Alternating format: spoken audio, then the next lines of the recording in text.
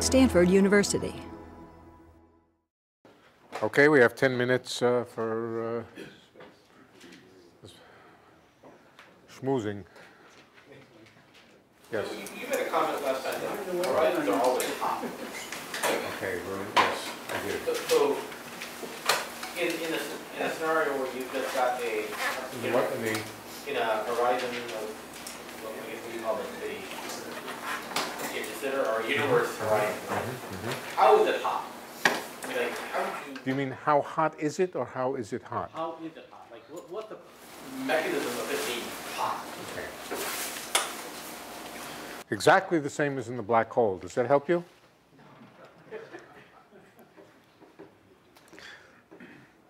All right, let's, black hole, I kind of see the energy of gravity and all this stuff, right? You say, okay, there's some Yeah.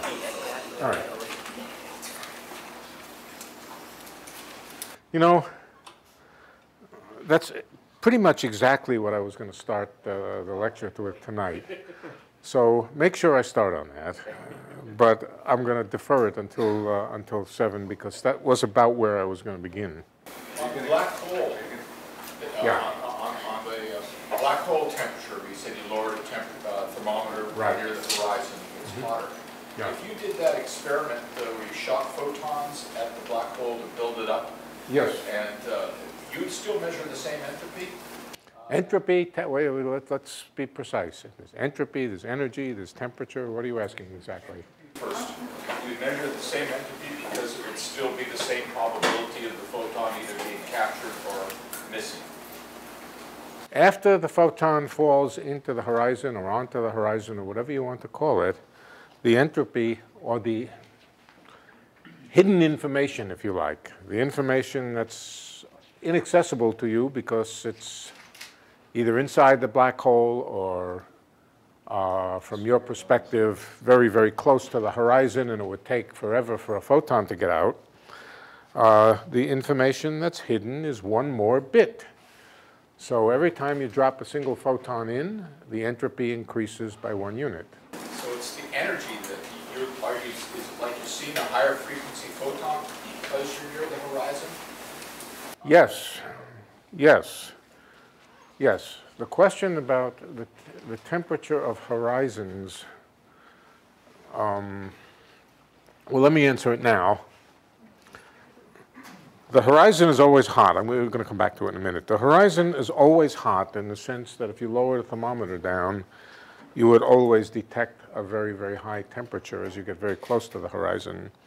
So you can think of it as the horizon being a place or surface of extremely high temperature, which is constantly emitting and reabsorbing photons. Um, they're really quantum fluctuations, and they're really nothing more than the high frequency quantum fluctuations that are taking place in a small volume of space, in a small region of space. Uh, the horizon makes them real in a way which I'll come to, which we're, which we're going to talk about, makes them real thermal fluctuations in a rather interesting way. But every horizon always has the property that the temperature, the actual temperature of a real thermometer lowered down to the horizon would record a temperature which would be 1 divided by 2 pi times the distance to the horizon, the distance to the horizon in the denominator. Every horizon, whether it's a black hole horizon or any, any other kind, uh, always has that property. Um, you asked me a question now, I can't remember exactly what it was. I think when you're near the horizon, the- Yeah. the time uh, sort of freezes. Does that mean that the photon that came in to build? Yeah, yeah, yeah. Let's forget the photon that came in to build it up. Let's talk about the photons which are being emitted.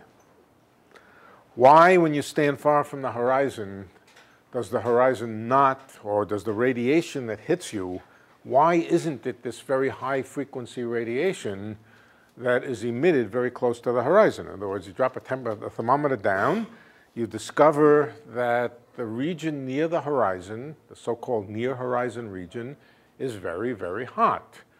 Why isn't it hot far away? I can assure you, if we created a blank wall over there, or that wall, and we heated it up to some very, very high temperature, and let's suppose it was a very, very big wall, and we heated it up to some high temperature, I don't think it would make much sense to say that as we moved away from the, uh, from the wall, that the temperature went down like one over the, uh, the distance. It wouldn't. You would be blinded by high frequency photons pretty much no matter how far you got from that uh, wall.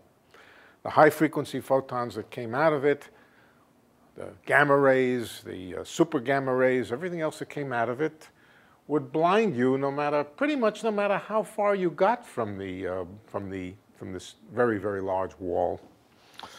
Um, why is it that that doesn't happen with the horizon of a black hole? Why, when you st stand back from it and get a good deal of distance between you and the horizon, why don't you get blinded by these very high frequency photons? And the answer, what's the answer?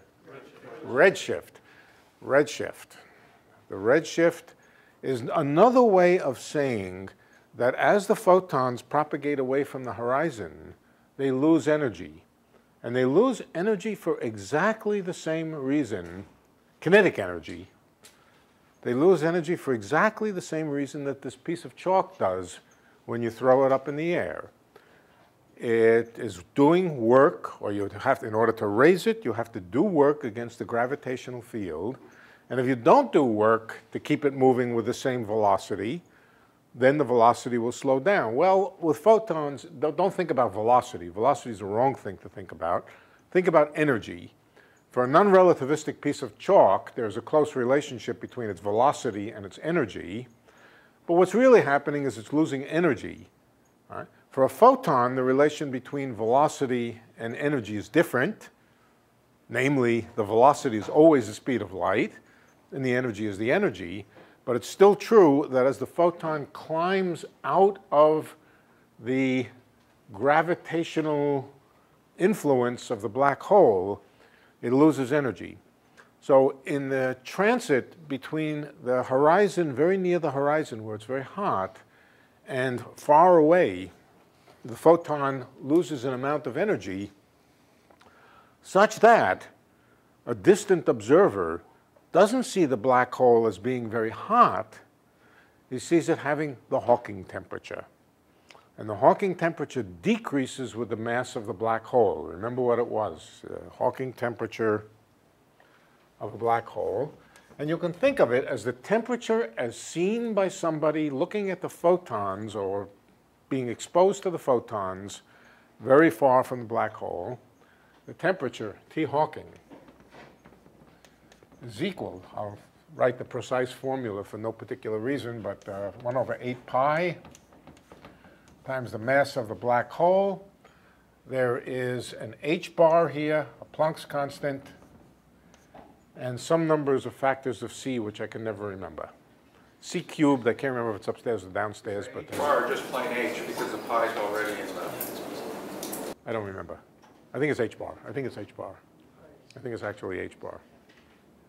Right. Uh, 8 pi times the mass of the black hole. So the bigger the black hole, the cooler it is. Why does it look cooler for a big black hole? Well, that photon that was created very near the horizon has a more difficult time getting away from the big black hole than a smaller black hole. In other words, it has to do, has to do more work, it loses more energy in escaping from a big black hole from the near horizon region than it does for a small black hole. So the effect is the temperature, the effective temperature seen by an observer far away decreases with the mass of the black hole. But if you take this formula, you interpret it in terms of the energy of typical photons. In fact, the temperature of black body radiation, the temperature of thermal radiation, is approximately the same as the typical energy of any given photon. So this just says the photons typically have energy 1 over the mass of the black hole. And if you then trace that inward toward the horizon and say how much energy did the photon have to have when it started out in order to escape and have this much energy when it got out, you'll find the energy is always the same. It's always about this 1 over 2 pi times the distance from the horizon. How close can you get to the horizon in a meaningful sense? Well, the Planck distance. The Planck distance sets the scale for all quantum mechanical distances. And so you might say then that these photons originated in a thin layer. This is the way it behaves. This is the way the system behaves. They, in a thin layer, perhaps a Planck length thick, near the horizon or right at the horizon, and it is continuously emitting photons and absorbing photons, emitting and absorbing them. Uh, the energy of the photons, as high as you can imagine, the Planck energy. Now, most of those photons don't get out. Most of those photons don't get out. What happens to them? They fall back. All right. Here's the horizon of a large black hole. And if the horizon is hot, it's continuously emitting photons, but though some of those photons go radially out, but very, very few of them, most of them go off at some angle. The ones that go off at an angle are pretty much guaranteed to fall back into the horizon of the black hole. It's only a tiny cone of angles here that, uh, that photons will escape. So, in fact, the emission of photons is a very slow process. It's a slow process because most of them don't come out at an angle which is appropriate uh, for them to escape, and most of them simply just fall back to the horizon, fall back because of gravitation. The ones that are coming out can bang into the ones falling in, and guess what happens? They collide, they're very energetic, they make electron-positron pairs, they make everything that you can think about, and they make this thin layer of very, very hot material. It's like no material that we uh, ordinarily encounter in nature, much, much hotter. And the surface of it is continuously emitting photons, which we see as having much, much lower energy than their emission.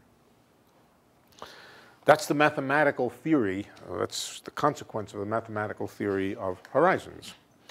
There's another way to think about it. Remember, we've drawn pictures of black holes. Uh, the outside of the black hole was out here. The inside of the black hole was in here. Somebody, a given distance from the black hole, is moving along a trajectory which looks like this. Now, there are quantum fluctuations that take place. Without trying to get into the depths of quantum field theory, let's just use um, the rough metaphor of quantum fluctuations being closed loops of virtual particles. So virtual particles are constantly being created and annihilated.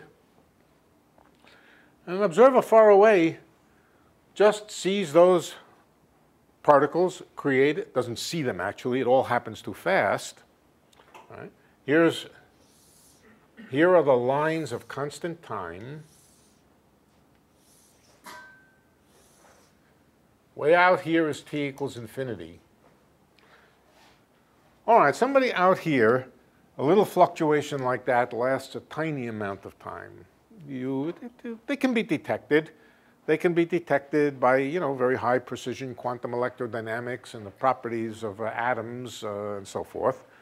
But there are also fluctuations that take place over here. Now, those fluctuations appear to be emitted from the horizon. The horizon is a place very close to this light cone here. They appear to be emitted and fall back into the horizon. That is exactly what these things are. They are the quantum fluctuations which take place half behind the horizon and half in front of the horizon, and look to somebody on the outside as something emitted from the horizon and reabsorbed. Some tiny fraction of them have enough energy to get out, and we call that Hawking radiation. If you're on the outside, wouldn't you see it go from t minus infinity to t plus infinity? Sorry again? When it crosses those, uh, those 45 degree lines, you said there are t equals, the lower one's Yeah, well, okay, so let's not, yeah. There's a classical horizon, which really looks like this. But it's always convenient, and we all do this all the time. We draw a surface one Planck length away from that horizon. This is a surface one Planck length away from the horizon. All right, it's one Planck length from here, one Planck length here, one Planck length here. It's a surface, if you like, if we wanted to draw this a different way, we would say here's the horizon, and one Planck length away, a thin layer. Uh, and, and the point here, of course, is that the horizon is not really accurately defined to within a Planck length. Quantum fluctuations not only of ordinary particles, but of gravitation and the structure of the horizon, they all take place. So you, you really should think of the horizon as a sort of slightly thickened thing. If you think of it thickened like that, and a fluctuation takes place, then this fluctuation doesn't occur at time minus infinity. It occurs at some time in the remote past or in some time in the past. It's emitted out and it falls back into the horizon over here. So somebody outside would say, look, I see some photons that look as though they were emitted from somewhere very close to the horizon with very, very high energy. They pop out and they fall back in. That's, the, that's what the mathematics gives. And um, it uh, is the same no matter what the horizon is, whether the horizon is a cosmic horizon, whether it's a... Uh, now, for cosmic... Are we... Oh, I guess we're ready to begin? Yeah. We, we have now. 10 after. Oh, we spent more time on that than I thought we would. All right, well then, um, good. Let's talk about cosmic horizons in the same vein. There are many ways to draw de Sitter space. De Sitter space is the space which is exponentially expanding. One way to draw it is just to draw a time axis which goes up to infinity, draw the blackboard, and keep track of the fact in our heads that the distance between any pair of neighboring coordinate lines here is exponentially increasing with time. That's one way to draw it. Another way to draw it is to squash all of future time, all of future time down by a coordinate transformation. We did the coordinate transformation last time so that future infinity is a horizontal line like that. Corresponds to t equals infinity. I think I wrote down the metric for you in a form which maps t equals infinity to a finite place. I'll just re rewrite it for you. Uh, the original metric was ds squared is equal to minus dt squared, that's the usual thing, plus e to the 2ht dx squared, where again dx squared stands for dx squared plus dy squared plus dz squared. And this e to the 2ht, that's the exponential expansion of the space. Why does it come in with a 2? Because it's really distance squared, right. Distance between points is increasing like e to the ht.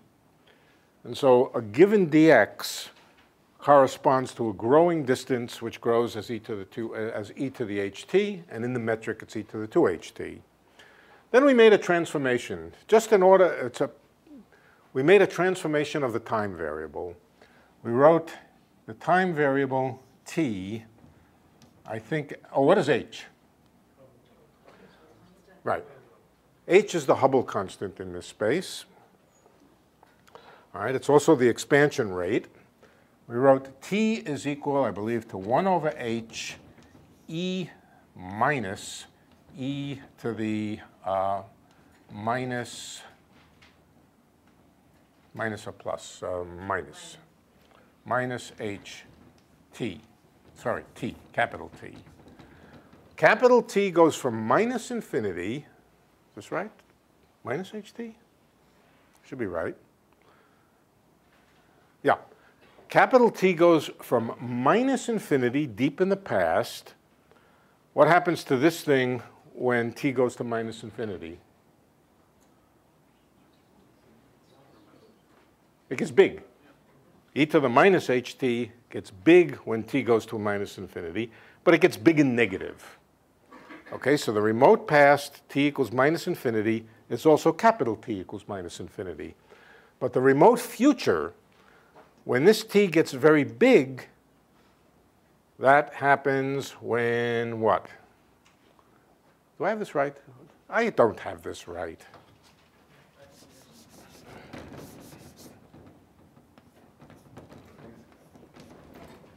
Excuse me. Still, still true.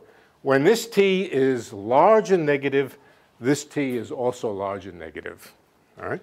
But now what happens when this t is large and positive? When this t is large and positive, then this gets small, and capital T goes to 0.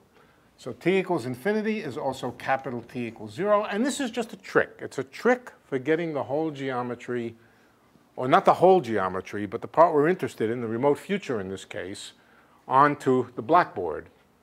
Now, what happens if we rewrite this metric in terms of t? Let me just remind you, it becomes minus, sorry, plus minus dt squared plus dx squared all times 1 over t squared, 1 over t squared h squared to be exact. Notice that when t gets very small, the distance between points gets very big, just as it did on this side over here. This is just a rewriting of this, and t goes to 0 is the remote future. The nice thing about writing the metric this way is that in these coordinates, light rays move on 45 degree angles.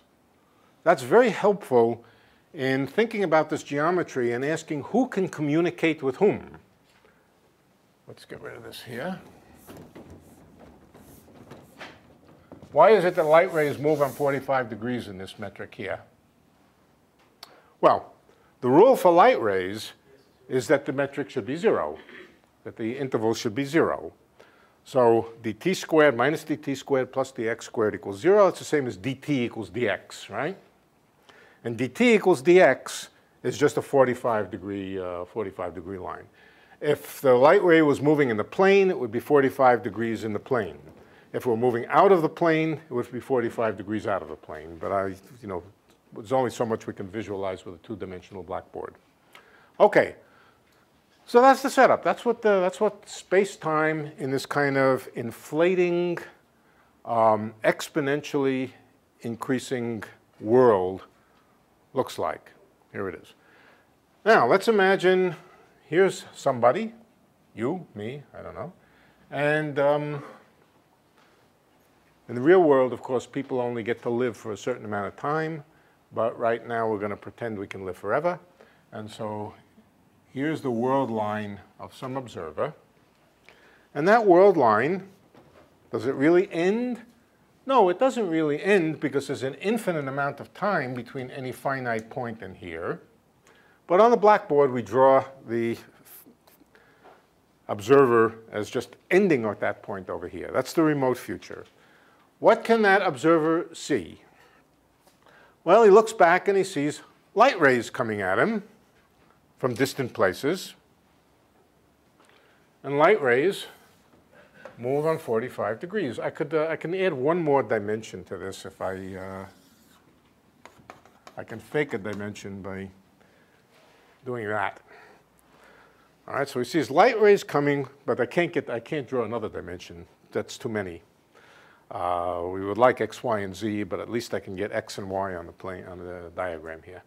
So this observer looks back, and as time goes on, gets to see more and more but never gets to see more of the space-time than is in the backward light cone here. So in particular, never gets to see anything out here or out here. At least doesn't get to see it in any sort of usual sense. So there's a region, most of space and time, almost everything, is totally inaccessible to this observer. Now, of course, there may be another observer over here. And that other observer sees something else. There's some overlap. Okay, there's some overlap. But this person gets to see everything in here. This person gets to see everything over here. Let's, uh, let's uh, simplify it and just study one observer at a time. For all practical purposes, his universe, space-time universe, is this backward light cone here. Now, what does he see? Does he see, does he see things, a world which seems to depend on time? You would think so. You might think, well, everything seems to be exponentially expanding. But let's just do a, a, a very simple exercise now. Let's consider this distance and compare it with this distance, and this distance, and this distance, and this distance. Basically, this distance that I've drawn here is the distance from the observer to his horizon. Let's see how that changes with time. It looks like it's shrinking, but let's just check that. Here's the metric. Here's the metric. And let's put this point over here at t equals minus 1. Let's put this point over here at t equals minus a half. This one over here at t equals minus a quarter. Incidentally, that corresponds to uniform ticking off of proper time. Each unit of proper time would correspond to dividing this interval by half. That's the way this transformation worked. That's why there's an infinite amount of time in here. And now let's calculate this distance. To calculate this distance, we just look at the metric. This is the metric. And so these two points are separated by a spatial distance but no time distance. So these two points are separated by zero time interval. That means in this formula here, there should be an equal sign. Somewhere there should be an equal sign.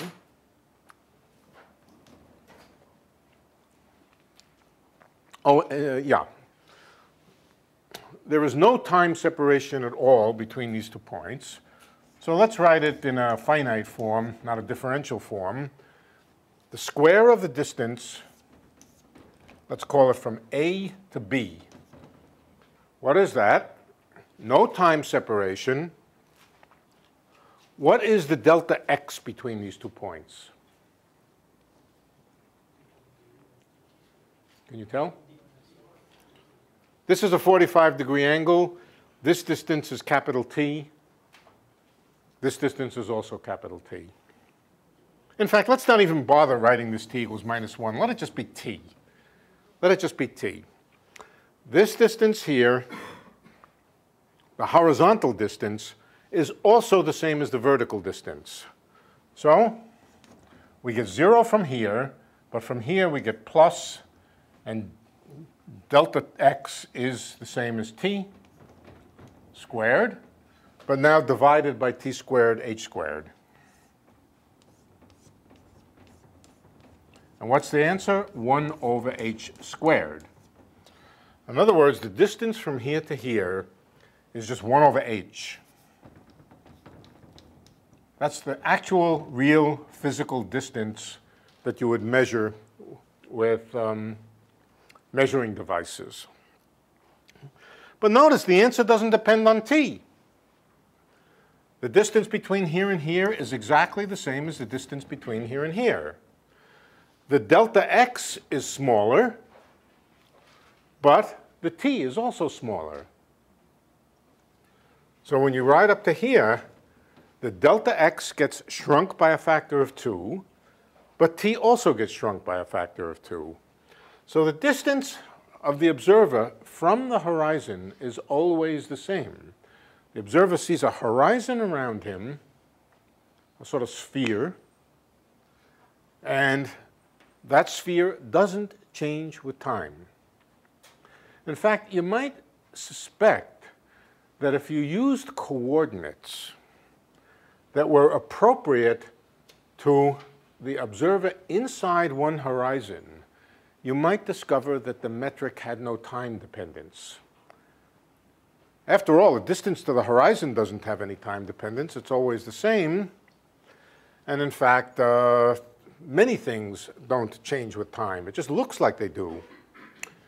you might expect that maybe there's some way to rewrite this geometry.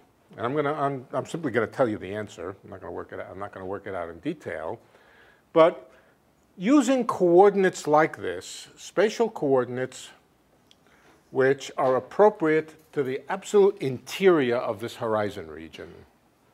All right, there is another way of writing the metric, but it's only good for this region. It doesn't capture what's going on on the outside, but captures everything on the inside. I'm going to show you what it is. And you look at it for a minute, and it may look somewhat familiar. Familiar but not familiar. These are coordinates which are sort of built on the pattern that I've described here. In other words, they're coordinates in which the coordinate distance between here and here is the same as the coordinate distance between here and here. This coordinate distance and the new coordinates will be the same as this, will be the same as this. And I'll show you what the, what the metric looks like.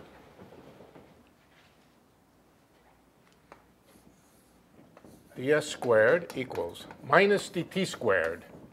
That's no surprise. It's, uh, it's uh, actually proper time, actual proper time. And then the rest of it is plus. Oh, no, no, no, sorry. I did it wrong. Mistake. I apologize for mistakes, but uh, the mistakes happen when I haven't had my cookies yet.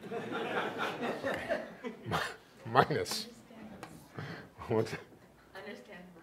Yeah, right. Low blood sugar. Um, 1 minus h squared r squared dt squared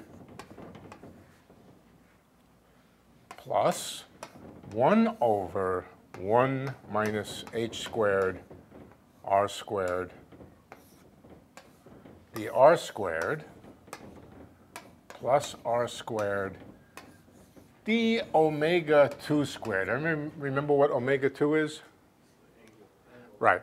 When you're sitting at the center and you look around you, you see an angular sphere around you, and this is just one way of not writing out the full spherical metric, uh, just uh, simplifying it. Does this look at all familiar?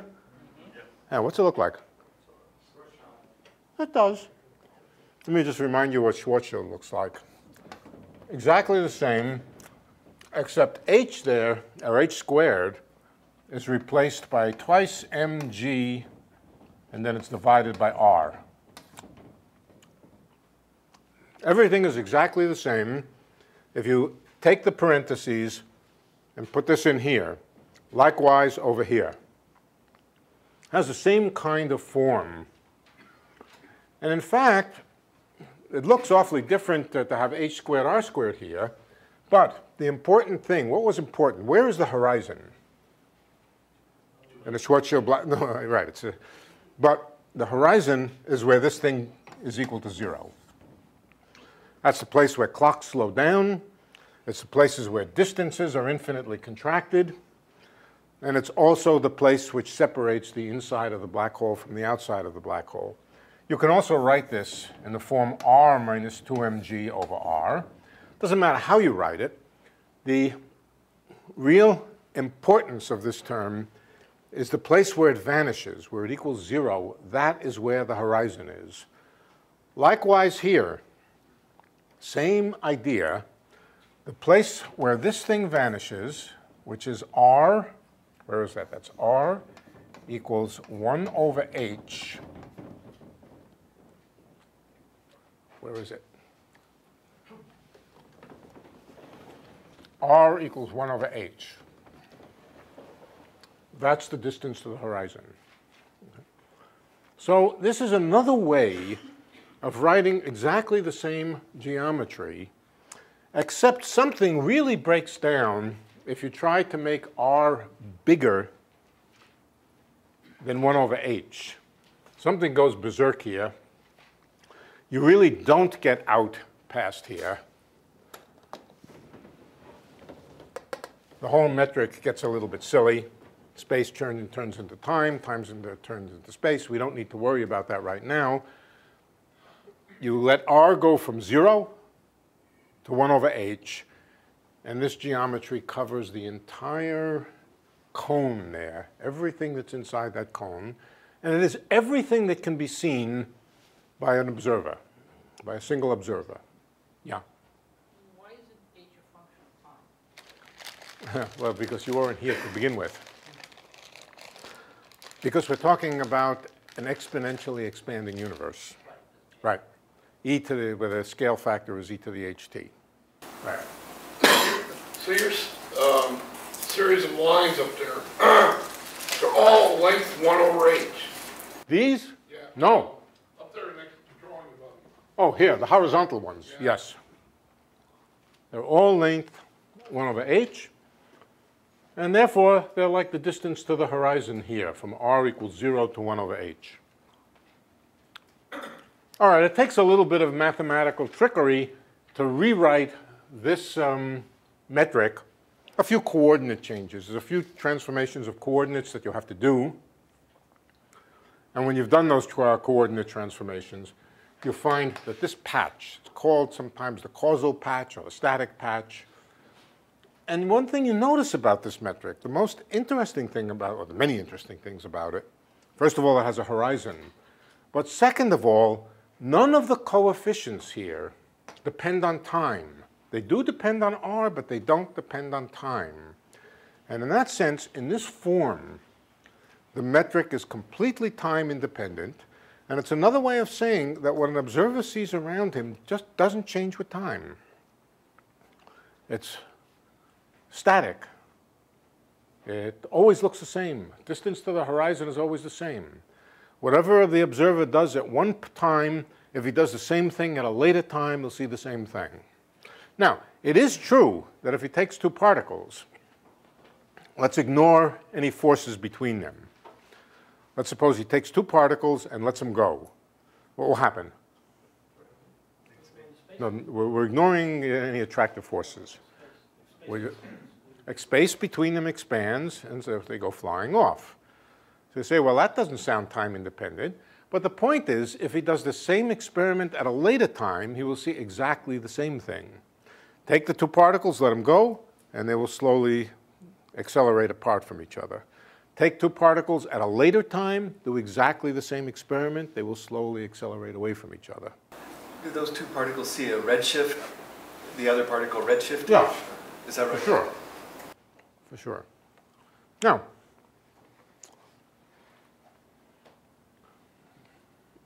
once we get to this point here, we can kind of see that a black hole horizon and a de Sitter space horizon are very, very close relatives. Um, the fact that everything that you can say about the near horizon region of the Schwarzschild black hole is pretty much the same for the um, uh, for the de Sitter space. I'm not going to try to prove that, but the similarity of the metrics are pretty clear, and they, uh, in fact, near the horizon, they're almost identical, very close to the horizon. But the whole global picture of things is quite different.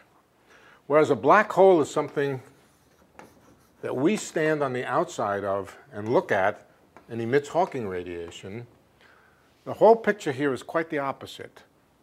We are on the inside. The black stuff is on the outside, the stuff we can't see. And yes, there is Hawking radiation being emitted from the horizon for the same reason. It's emitted and absorbed, emitted and absorbed. Sometimes a photon gets to us. But we can also ask the question, what is the energy of a photon by the time it gets from near the horizon to us? And there, there is a big redshift factor. This metric, just like the Schwarzschild metric, has associated with it a gravitational potential. This metric also has a gravitational potential. I'll draw it for you. As a function of r, as a function of r, there's a gravitational potential. Let's see if we can draw it.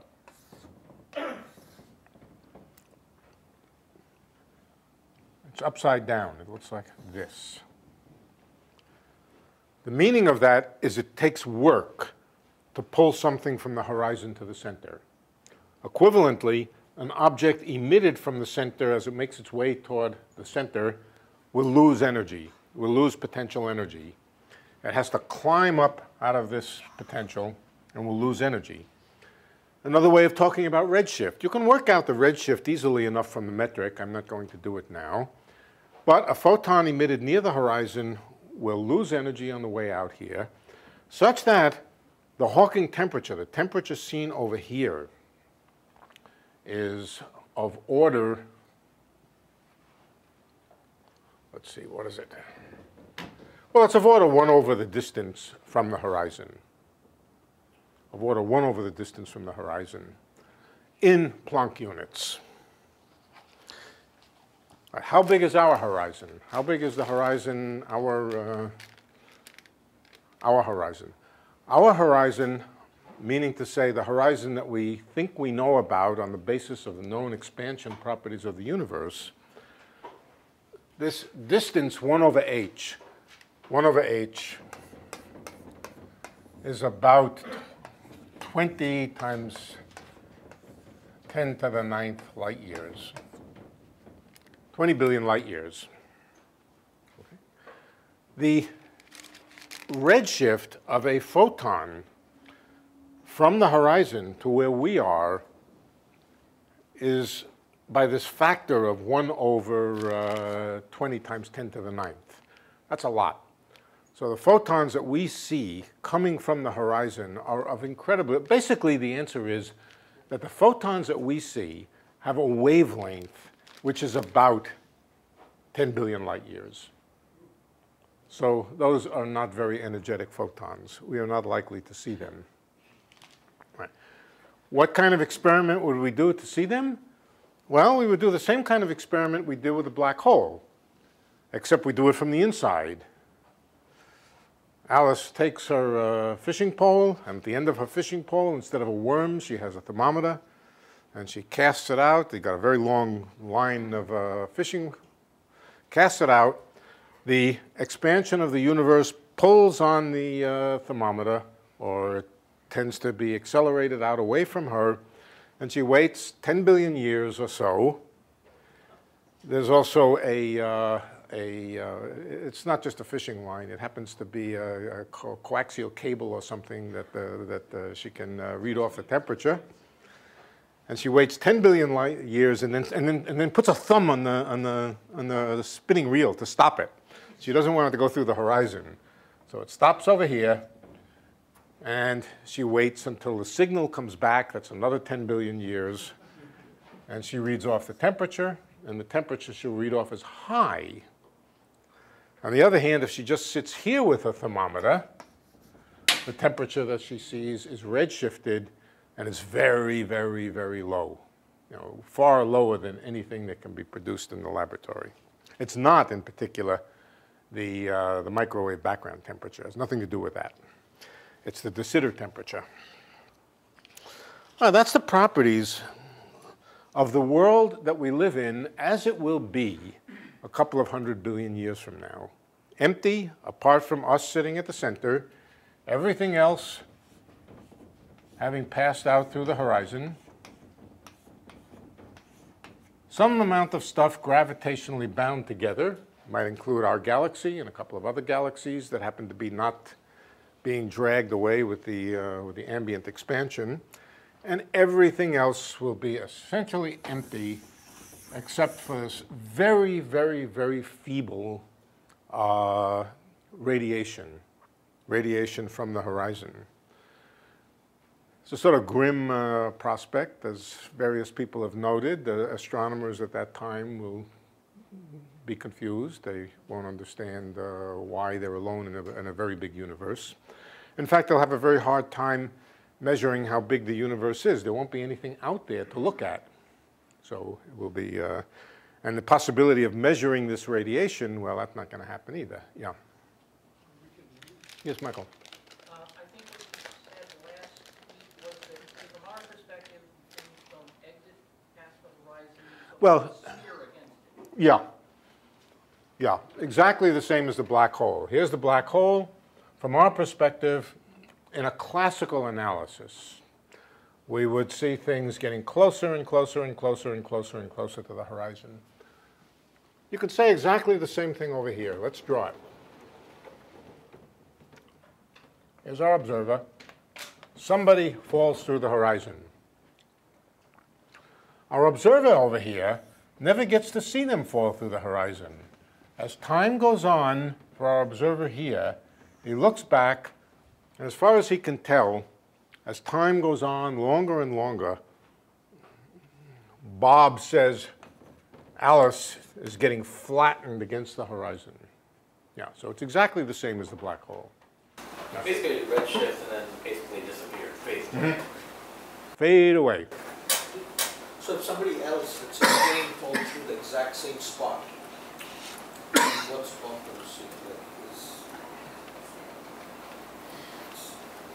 Okay, classically, classically, just without worrying about any quantum mechanics, okay, here's what he sees. Sees may be uh, the wrong term since the wavelengths of radiation that they send out get so long that they'll never see it. But here's the mathematical description. Let's see. All right. Here's the horizon. And here is, what was it, Alice? Here's Alice, and what's the other one? Jane. Here you are, Jane. Alice falls towards the horizon and gets squashed. Jane gets closer and is starting to get squashed. Alice gets closer. Jane also gets closer. In other words, a kind of sedimentary structure forms near the horizon that just gradually gets closer and closer and skinnier and skinnier. Now, that's a classical description. What actually happens quantum mechanically is more complicated and involves emission, interaction with the emitted radiation and so forth, which spreads them all out over the place and, uh, and ionizes them, cooks them, does terrible things to them. But from a classical perspective, you would just lose track of them as they get squashed closer and closer in there, and you'd lose track of them because the radiation from them would get more and more and more redshifted as they get closer and closer. Okay. But isn't it the case that the horizons are only hot for things that get close but don't cross over? You pass through, you don't get cooked. Okay. Alice has no problem at the horizon. She sails perfectly happily through. Bob just loses track of her, but if he tries to do an experiment which sees what happens to her, we come back to this very strange situation, this Heisenberg uh, microscope situation, where the only way to do an experiment is to shine some high frequency light on Alice. And as Alice gets closer and closer to the horizon, the wavelength of that light has to get smaller and smaller. So the answer, I'm sure by now you know, is that the attempt to look at her will cook her. So, uh,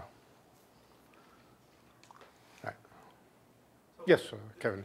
Simplistically, the, um, the, all those effects of the horizon of the black hole were caused by the gravitational well, if you will, of the black hole. What's the equivalent here? Well, there is. Uh, there is a gravitational. All right, good. All right, let's do a little exercise. For any kind of uh, gravitating material, which we usually call mass, but we could, could use the word energy, for any kind of distribution of energy or mass, there is around it or in its neighborhood or somewhere, there's a gravitational potential. All right, the gravitational potential is usually called phi. Phi is such that its derivative, its gradient, is the gravitational force on an object, on a unit mass, on a test mass, on a unit mass. Now, phi satisfies an equation. On the left-hand side of the equation is something involving phi, and on the right-hand side of the equation is the mass density. This is Newtonian physics. Let's do Newtonian physics. What's on the right-hand side? Let's just say the mass density, which I'll call rho, and it's a function of position in general. It might just be a point source at the center. What's the left-hand side? I've just written phi, but of course that's not quite right. What's the, anybody know the right, uh, not the divergence, but close, you're close. Something called del squared which is basically the second derivative with respect to the distance, r. Uh, d second by dr squared of phi for a radially symmetric distribution of mass is equal to rho. This would give us, for example, for a point mass, it would give us the usual Coulomb, uh, the usual um, Newtonian uh, potential energy. Now, vacuum energy is an interesting possible candidate to put on the right-hand side, and let's do so. Uh, is my sign right? Is del squared phi minus rho or plus rho? I can't remember, and I'm not going to try to figure it out. It's one or the other. Um,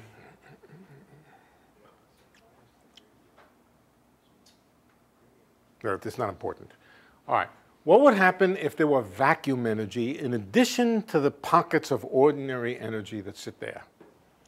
Well, you would put a constant on the right-hand side. What would the constant be? The constant would be the constant vacuum energy, sometimes called cosmological constant. Other times it's just called h squared. It's basically proportional to h squared. In fact, that's where h comes from. So here's a formula for the gravitational potential of a space which is filled with a uniform distribution of mass. It's the vacuum energy. Absolutely uniform. Not only doesn't it change with position, it doesn't even change with time. Uh, what's the solution of this equation? Nope. Easier than that. It's phi equals plus or minus. We'll figure out the sign later. h squared r squared. Let's differentiate. Well, maybe there's a factor of 2. What's the first derivative of this with respect to r? h squared r. What's the second derivative? h squared. That's this. So look at that. A uniform, absolutely uniform distribution of energy, and there should be a minus sign here. Uh, yeah, there should be a minus sign here if we do it right. Okay. So what do we see? We see that there's a potential, a gravitational potential. You can think of it as being due to this uniform distribution of energy distributed all over space. And what does it look like? It looks like this. Minus h squared r squared over 2. Right. What does this mean? This means, okay, let's, let's follow it a little bit. That's the potential energy that I, I, at the center of my geometry, I'm special. I'm at the center of my geometry. You may think you're special and you're at the center of your geometry, and that's fine with me, but I know that I'm special and I'm at the center of my geometry. I make measurements. I make measurements on test masses, and I find they move in various ways. And I find they move as if they were in a potential which went like this. Incidentally, what does the force do to this potential? No? The force is the derivative of the potential. All right, so the derivative of the potential is, is just r. So this is a force which increases, it's repulsive, that's the minus, pushes you down, and the force increases linearly with distance. So any two objects, if you just start them out at rest, they will start to accelerate away from each other. And they'll eventually start picking up some speed. How long does it take them to pick up any appreciable speed? That depends on h. Basically 10 billion years for it to pick up any significant speed. But if you wait 10 billion years, it will be moving like a rocket. Okay. So, no, no, not like a rocket, like a photon, or close to a photon. All right, so what, is it, what does all this mean? Supposing you start an object right up at the top, literally at the top, what happens to it? It stays there, right? It's at a point of unstable equilibrium. Well, that's another way of saying that me, in my own frame of reference, if I take an object which is located right where I am, it'll stay there. You don't have to be too, uh, too sophisticated about it. If I am my own object, and I don't move away from myself. Well, not, the, uh, you know, sometimes, but not, not usually. Okay. Now, what happens if I take an object a little bit away from me? And, and again, we are ignoring all other forces. We can take into account the other forces we're ignoring. So I start somebody out at rest 100 meters away from me. That's over here. What happens to them? They start moving away. And in fact, in this kind of potential, they will move with an accelerated motion that, uh, that will be, if we take into account relativity and everything, it'll be this exponential expansion. So that's just a statement that the space in between things is expanding exponentially. So this kind of picture is a kind of Newtonian description of the same physics as the exponential expansion of the universe. It is as though there was, number one, a uniform distribution of matter around me, and number two, a gravitational potential energy which is pushing everything away. Yeah. But we do have to consider the other forces. right? Like, We certainly do. Forces, Yeah. even a person, the atoms would disintegrate. Yeah. and all get pushed. Right. So if I took the, let's take the potential energy between you and me, only gravity for simplicity. all right? There's another contribution. I'm standing at the center, and I'm thinking about you, and I see that you have an ordinary gravitational Newtonian potential energy relative to me in addition to this. All right, first of all, what would the ordinary gravitational potential energy look like?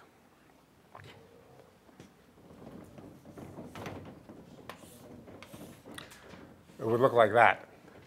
Pulling me toward the, pulling you toward my center would look like that. One over r, one over r potential. All right, if I add that to this, it looks something like that. So if I'm close enough, if I'm close enough, then I get pulled, you get pulled toward me. If I'm right at this distance, or you're right at this distance, then you're in a kind of unstable equilibrium. But if you're slightly farther away than, uh, than uh, the top of this, then you get pushed away. So this is exactly the situation that uh, the Andromeda galaxy appears to be in here somewhere, is falling toward us. A few galaxies away, they're accelerating out away from us. Yeah.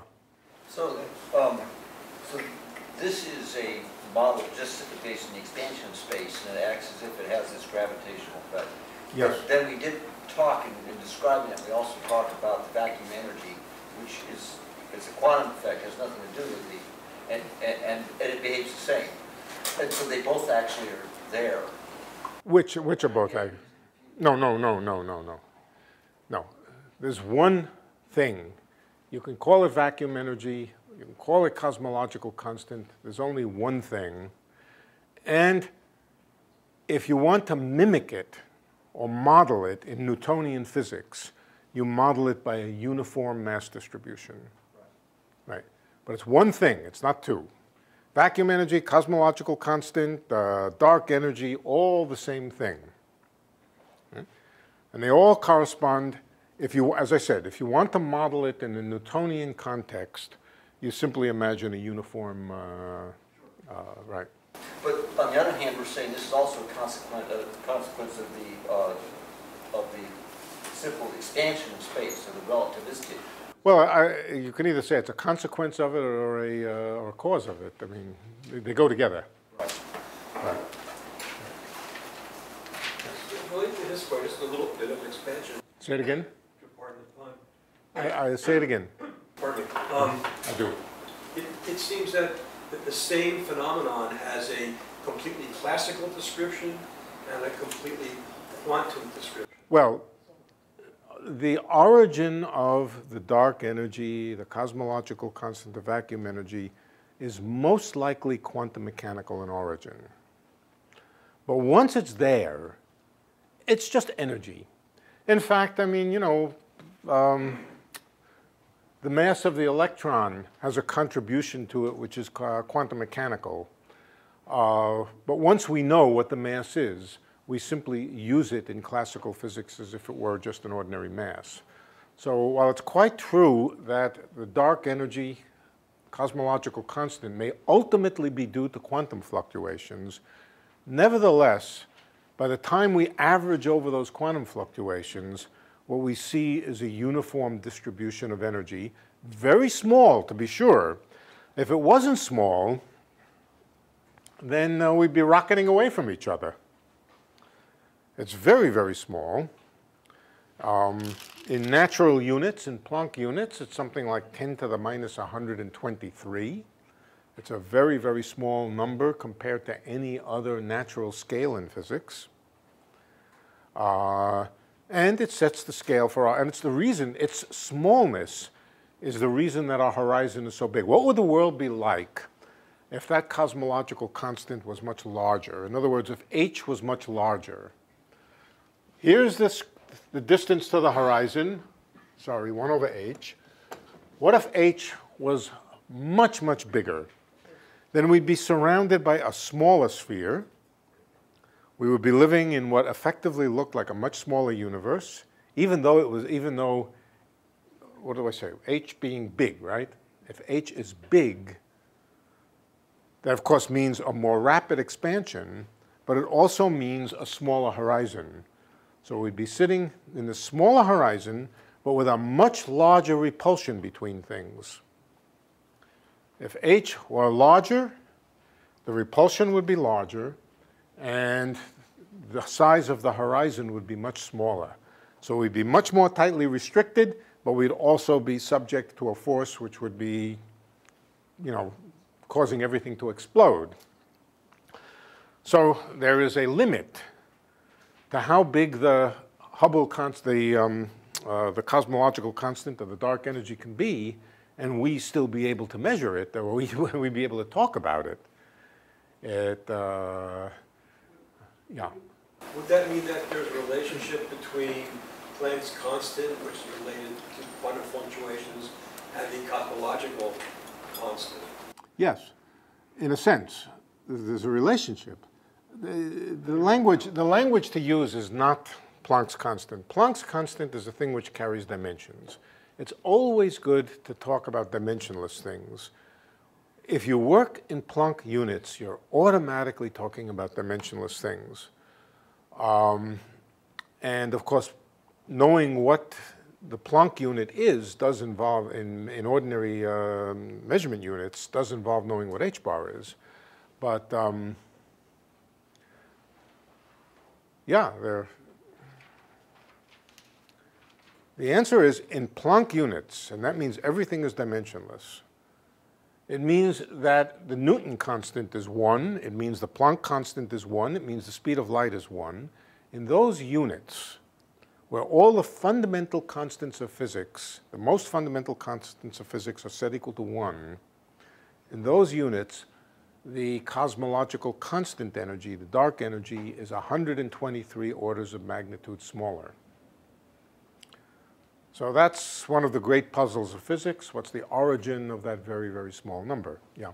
Along those lines, I have heard that not all theoreticians share the the idea that vacuum energy should be identified with the cosmological constant because of that 123.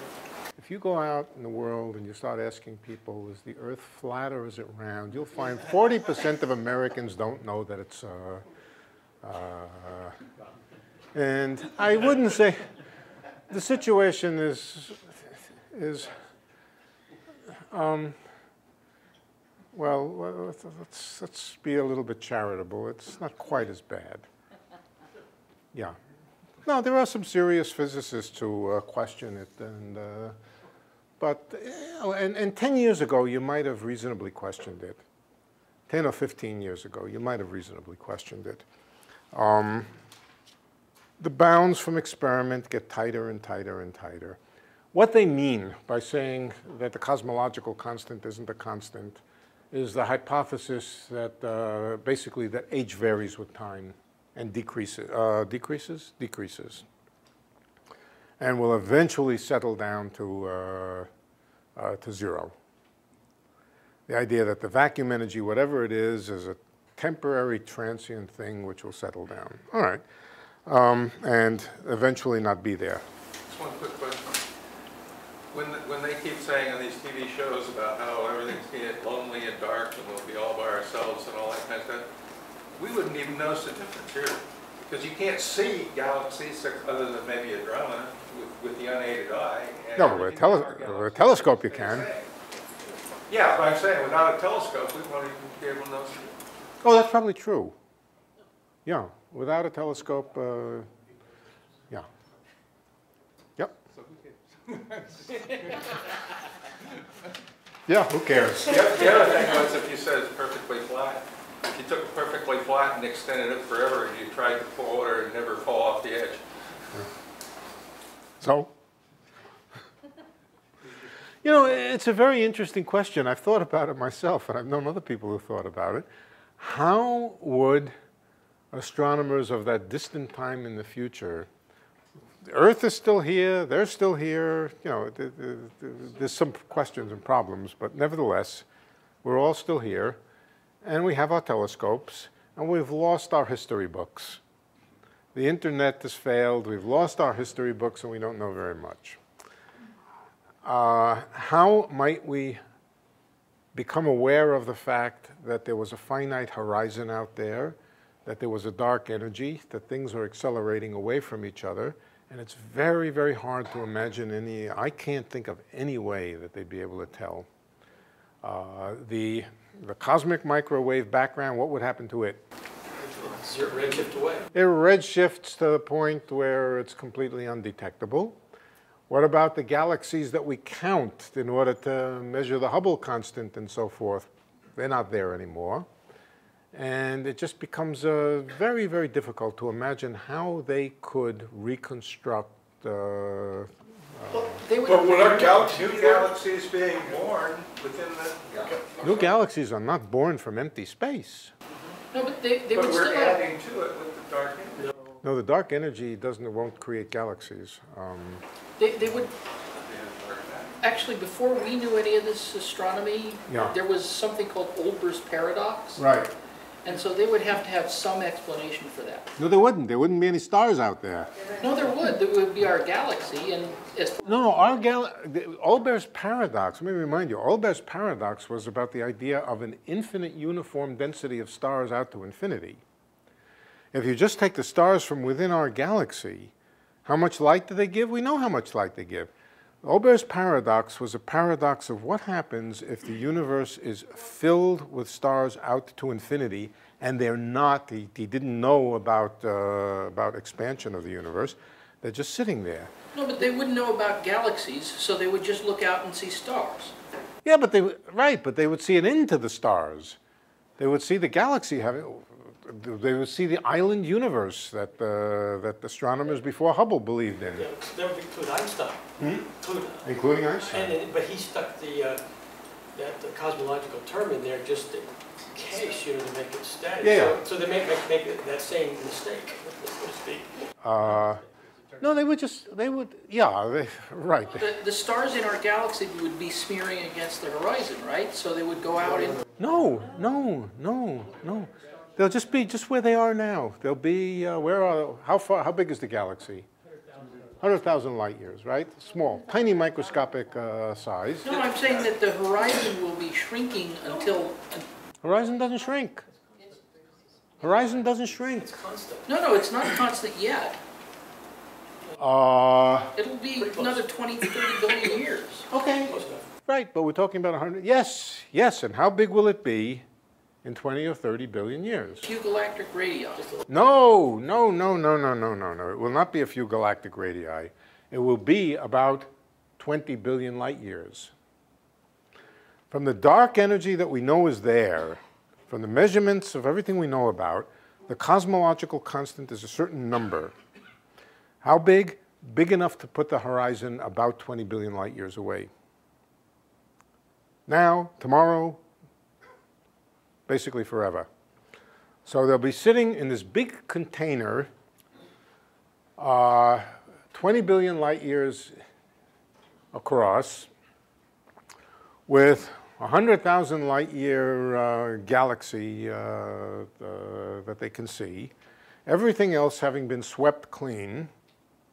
And how do they detect the fact that there is a outer uh, boundary, let's call it, But wouldn't- aren't- isn't there some rate at which stars are ejected from the galaxy? Because they, you know, when, they're gonna. Yeah, galaxy, stars are, stars, stars are ejected from galaxy, that's true. Mm, You'll have some small number of objects you can track for a while. You can track them for a while, but you won't be able to track them out to cosmolo, you know, uh, well, How do we know that that doesn't already happen? which? Stars evaporate from the galaxy? That, you know, that edge of the universe, the 20 billion light years away, Is. is, you know, we're not able to see the rest of it. We can see it, we can see it, uh, we can, we can see, we can measure the, um, the expansion rate and reconstruct, reconstruct it.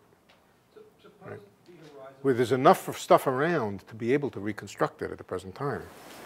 Suppose the, uh, the event horizon would be just outside the distance to uh, the Andromeda Galaxy. Wouldn't the, the, the, That would be quite noticeable. yeah, th- then, then you'd be able, because the Andromeda Galaxy wouldn't behave the way it behaves now, Right. because the component with the Yes, yes, expansion is so large. Yes.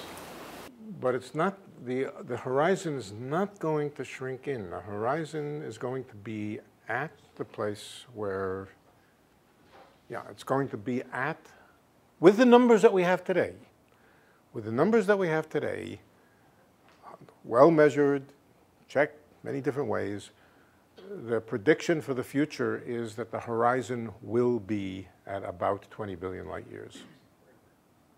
That's where it, uh, that's, that's where it will be, yeah. In other words, h is constant during, uh, during this kind of expansion, and um, the distance to where you have to go, to where the speed, where you see the speed of light, that's going to be constant, yeah. Uh, don't there be big bangs happening out there? Not that I know of. I thought the, the, the, there were, there were, the, um, what's it called, the, uh, multiverse, all the, there are, Yeah, but we can't see that part. That's out beyond the horizon. That's out beyond the horizon. That will not be visible to us or to our future uh, descendants. Now, what is true, there is something which is true. Uh, they're called Poincare recurrences. I'll tell you what a Poincare recurrence is. First of all, your picture of that's the inside. Your picture should be that there's some temperature here, a very low temperature from our point of view, a very high temperature out near the boundary, but you should think of it as a thermal system. It in fact has an entropy. The entropy is just the area of the horizon in Planck units. It has an entropy, a certain finite entropy. And so you can think of it to a large extent as a cavity with a finite amount of entropy in it and some thermal gas The thermal gas is mainly out near the horizon because of this effect. It all tends to congregate out here. And it's constantly fluctuating. Now, a thermal system, let's talk about thermal systems, a box. A box of gas with lots of molecules in it.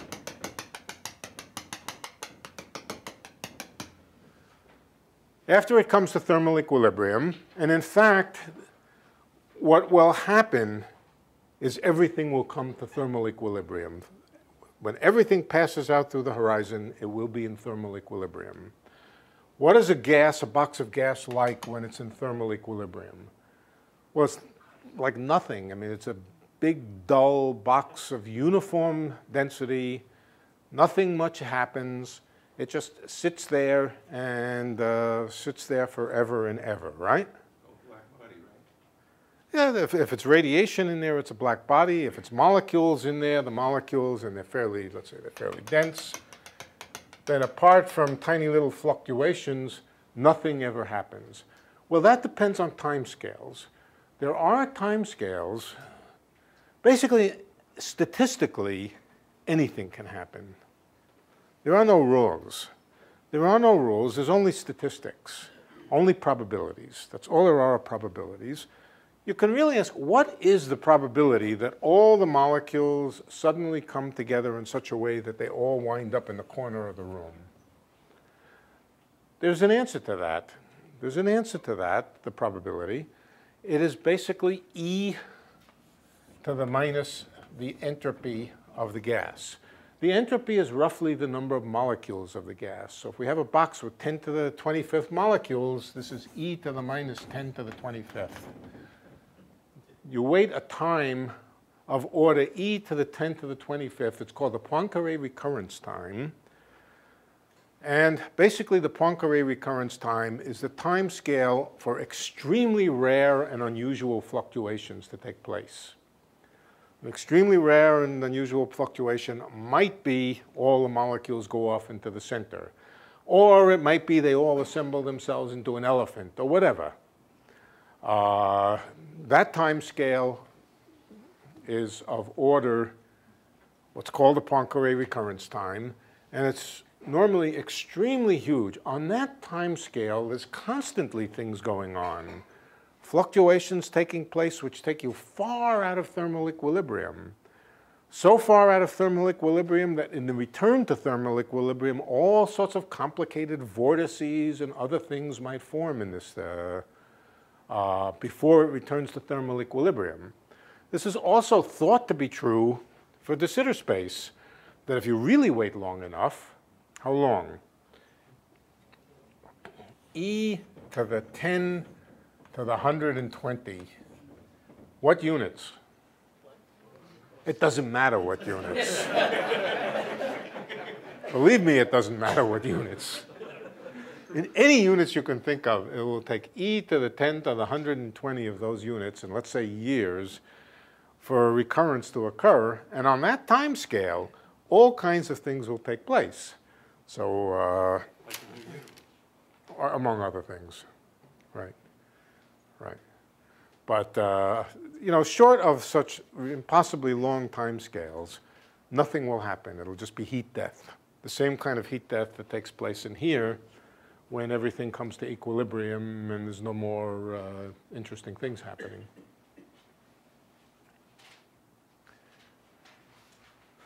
Well, eh, more mild fluctuations could happen. Fluctuations could happen. I'll give you an example of a fluctuation that can happen. We can even give a rough estimate of how long between such fluctuations. Instead of the whole world returning to the original Big Bang, which might happen, that would be this time scale here. We could ask for a more modest kind of fluctuation. A more modest kind of fluctuation might be a fluctuation happens in which a solar system accidentally forms. I told you an elephant could form. Okay, yes, an elephant can form. And the time scale for elephants to form is not e to the minus the entropy of the whole gas, it's e to the minus the entropy of an elephant. What's the entropy of an elephant? Roughly the number of molecules in it. Uh, in the same way, if you wait long enough, by accident, by pure thermal fluctuation, a solar system might form here. That might be the cheapest way of making an observer. Right? The cheapest way, probabilistically speaking, of making an observer might be for a fluctuation to happen and to create a solar system. But I can think of something a little cheaper. I can think of just the Earth forming. Right? That would be even cheaper. The entropy of the Earth well, you might worry a little bit if there was no sun, and uh, then you wouldn't have any warmth, but uh, let's not worry about that. You might form an already warm Earth that keeps itself warm for some period of time. And you say, well, maybe it's not enough time for people to, uh, to, um, uh, to uh, evolve. Don't worry about it. The fluctuation involves the creation of people too. But you could even do cheaper. If all you want is a single observer, you could imagine a single observer, or just his brain, just his brain being nucleated by random fluctuation. Such things are called Boltzmann brains.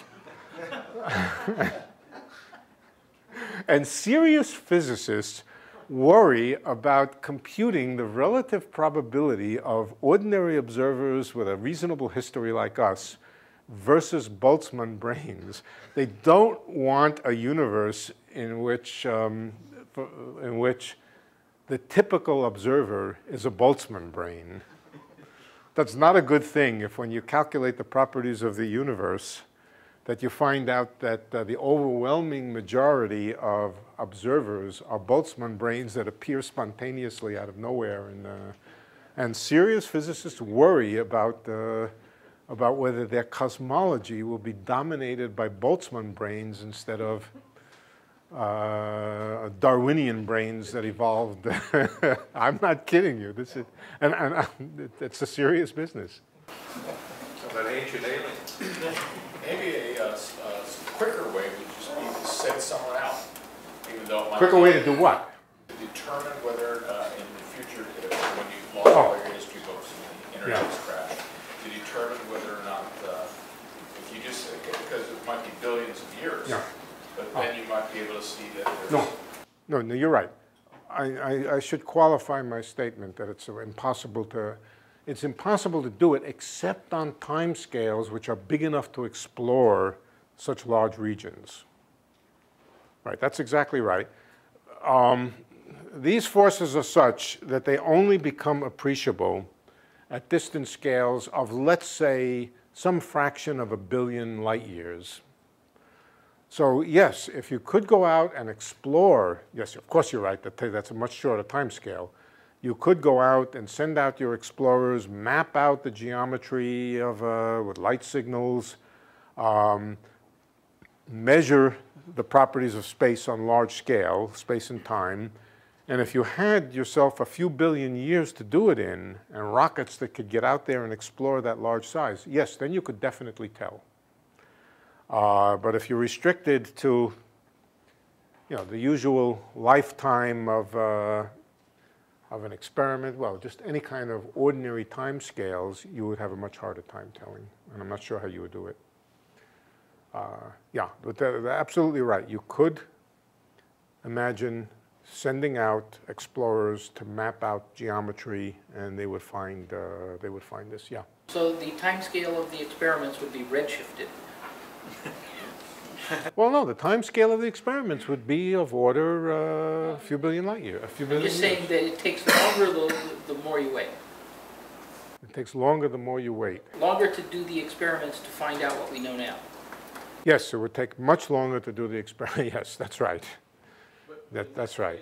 The observer sending, Uh, no, no, I think you're right. It is, a, it is a matter of redshift in a sense, yes. the observer sending information back sends a radiation that is modulated. Mm-hmm. And that's redshift. That's okay. Um, the, the, we, don't even do that. Don't even think about it. Just send the observers out. Let them make measurements with light rays. The light rays take a billion years to get from one place to another. That's okay. We have a billion years.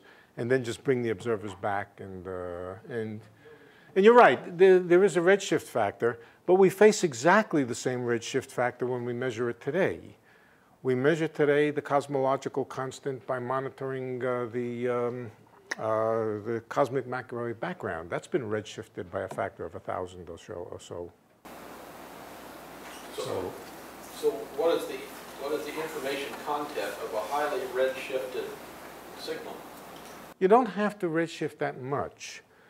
If you want to explore the universe on a scale of, let's say, 4 billion light years on a side, and that's, that's enough. That is, uh, probably a billion light years would be more than enough to detect uh, the expansion. The, in a billion light years, uh, the redshift is a small, is a, is not a big deal. It's a small fraction of one, a tenth or something like that. So you're not limited by redshift in uh, making these measurements. If you were, we wouldn't be able to do them today. The planets and so forth, not the planets, the stars and galaxies that we see out there that we count and which form our measuring rods and so forth, those are out pretty far, a few billion light years. Um, but we're not limited by, in detecting them by their redshift from us.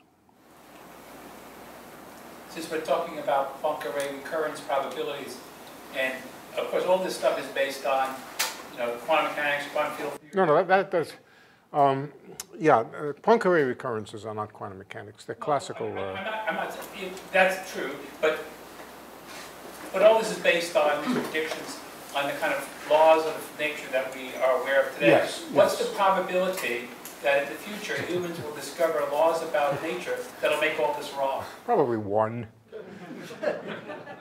Just wanted to make point.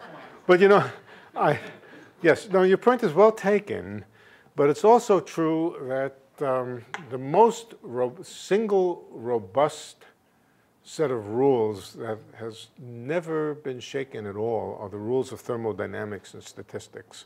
So if I had to bet uh, on which laws would be most likely to survive for a very long time, arbitrarily long time, I would guess those which were based on statistics, probability theory, namely statistical mechanics. But do we know? No.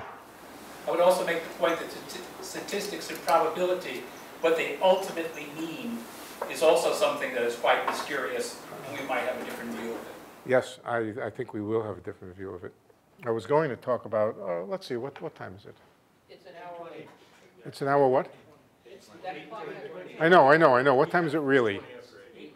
All right. I, I, yeah, I thought I would amuse you with some other uh, things that, that, that physicists worry about today that sound very bizarre. I'm just going to ask if this is a good time to bring in that question that you brought up about the ultraviolet redshift connection. I mean, uh, infrared, ultraviolet infrared connection. Yeah, I, I never quite get to it, do I? No. Yeah. Yeah, it, it is the right time, but I'm not going to do it anyway. Maybe I come back for another 10 years? Yeah, ooh, someday we'll get to it. Someday we'll get to it. I was going to tell you about um, a puzzle that has to do with probability theory that is really sort of obsessing a lot of physicists, and I'll tell you where it comes from. The first thing, which we're not going to talk about tonight, is the idea of, except I'm just going to mention it, it's the idea of eternal inflation. I'll draw a picture of it for, for, uh, for what it's worth. And then I'll tell you what the nature of the puzzle is. First, we want to get a picture on the blackboard. A picture of de Sitter space or a expanding, uh, inflating universe looked like that. Everything below here is the world. Everything above there doesn't mean anything, and this is the end of time. Okay. One of the things that was discovered oh, sometime in the 1970s by a physicist by the name of Sidney Coleman was that the de Sitter space like this is probably unstable. And, but it's unstable in a very specific way. It's unstable with respect to nucleating little bubbles in which the cosmological constant might be smaller. All right, let, I'm just going to draw you what the picture looks like. If a bubble nucleated over here, in which the cosmological constant was a little bit smaller, or maybe a lot smaller, what would happen is a region would grow, would grow and eventually fill up a region of space like that. This region of space in here, this region of space-time in here, is itself an entire universe. Don't ask me why. It's a bubble, but it's an expanding bubble, and that expanding bubble expands out to something infinitely big up here, and it corresponds, in some sense, to a universe. With time, many of these bubbles will form. And in fact, the population of them will exponentially increase. Why? It has to do with the exponential expansion. The population will exponentially increase. And this is a picture that cosmologists love to draw. These different bubbles could be different from each other. It's not really terribly important. They might be different from each other. Things go on in them. And this process is imagined to keep going and going and going. Now, each one of these tiny little bubbles is as big as the original one I drew here for the same reason that this line here is as big as that line.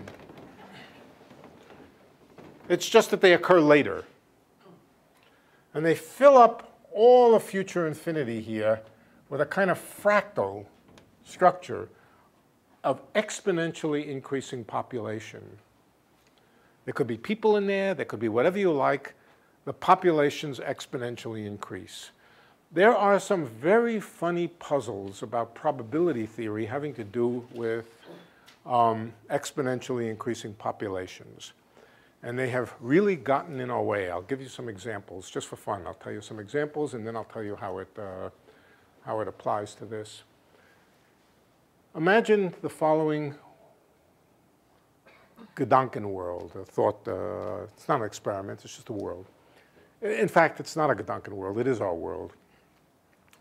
It's a world in which the population is exponentially increasing. Unfortunately, this is approximately true. Okay? Number two, it's a world with finite resources.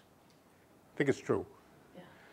But let's take it to be the case that for one reason or another, that nobody really has the vaguest idea what the total resources are.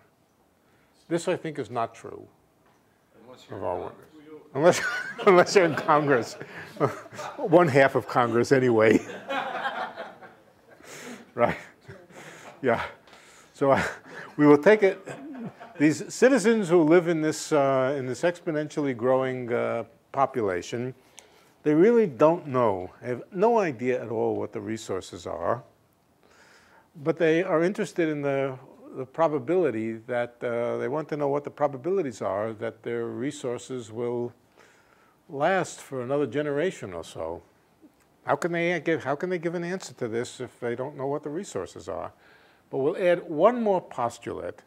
And the one more postulate is one that we always make in science. I'll give you some examples of it. And it is that we who are doing the experiment are typical.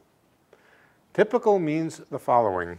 It means that if there are a great many possible outcomes, but uh, more, but by some large majority, the observers who are doing this have a, a large probab, well, let's see how to say this.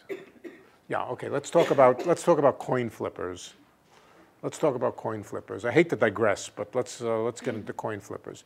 We got zillions and zillions of these people who are obsessed with coin flipping. And what they love to do is they love to flip a coin a million times. All of these people do this. And they count how many heads they get and they count how many tails. What they do with it, I don't know. All right, but a typical one of them, or one of them asks the question, what bet should I make for how many heads and tails do I get? Not exactly, but you know, within some reasonable bounds. I'm going to do an experiment. I'm an experimental physicist. All experiments involve statistics, especially in quantum mechanics. And when we make predictions, we're making predictions analogous to the prediction of coin flippers uh, who uh, flip coins. Well, what's the answer? The answer is there are some coin flippers who flip all heads.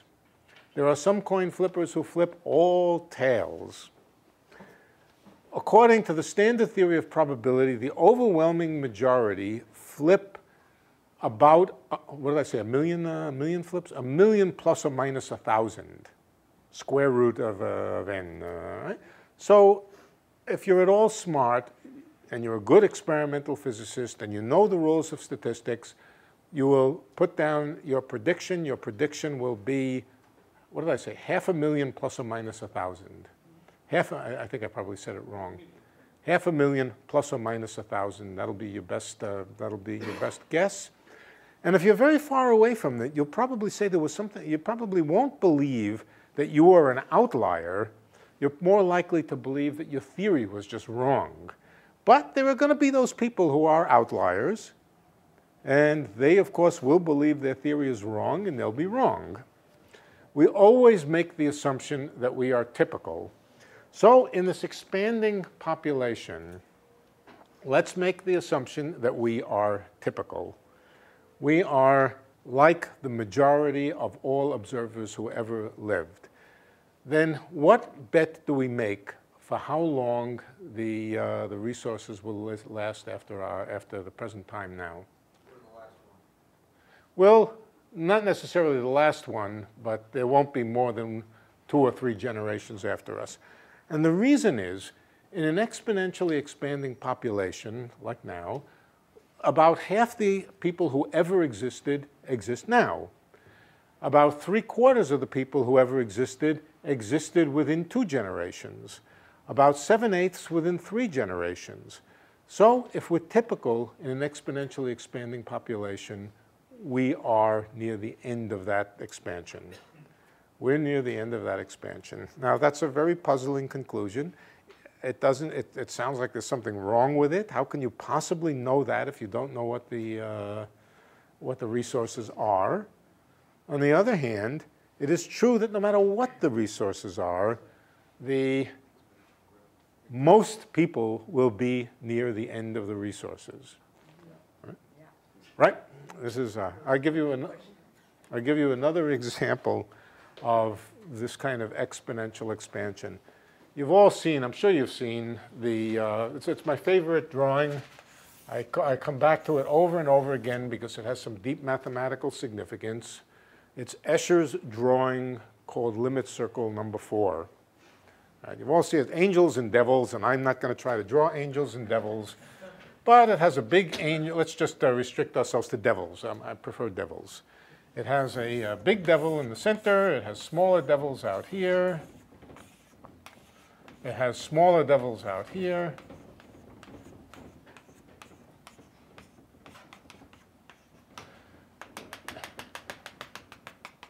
And so forth. Now, in fact, the geometry is such that they're really all identical to each other. There are symmetries of this diagram which move points, which can move this point into this point. It'll move this point into something small over here. It's just the way that it's drawn makes some things look smaller and some things look bigger. It's completely symmetric. But of course, when Escher actually drew it, he did have to draw the small things small and the big things big. Now, um,